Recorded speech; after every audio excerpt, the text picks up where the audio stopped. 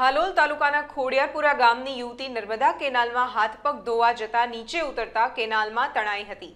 અજાણ્યા વ્યક્તિ દ્વારા યુવતી કેનાલમાં તણાઈ હોય એવું ગ્રામજનો પાસેથી જાણવા મળ્યું હતું.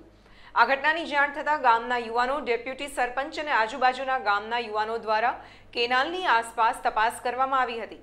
યુવતી પોતાના ખેતરમાં આંબાની કેરી ઉતારીને ઘેર જતી હતી, ત્યારે હાથપગ ધોવા નીચે ઉતરતા કેનાલમાં તણાઈ હોય તેમ લોકોમાં ચર્ચાઈ રહ્યું છે.